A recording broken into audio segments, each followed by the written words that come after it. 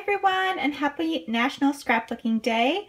Uh, for today, Jenn and I, who is Scrap Scrapbena Creations, uh, decide to do kind of a challenge and use the same paper pad, which is the Dear Lizzie Daydreamer, and the Magical Friends by the Greeting Farm, which I don't own, but I stamped when I was at her house the other day.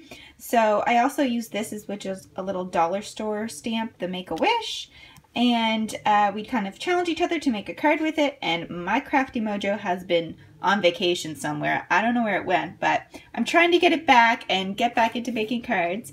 So this is the card i made. Oh my goodness sorry. This is the card i made. And i think it's turned out very cute very fun whimsical. This stamp set reminds me of um, my little pony so i love that. It takes me back to my childhood. Um, I used some glitter and some pearly accents and a little cloud stamp, which is also a, um, a dollar store, like, or dollar section uh, Michael stamp. And yeah, I think it turned out cute. It'll make a cute little birthday card for my niece.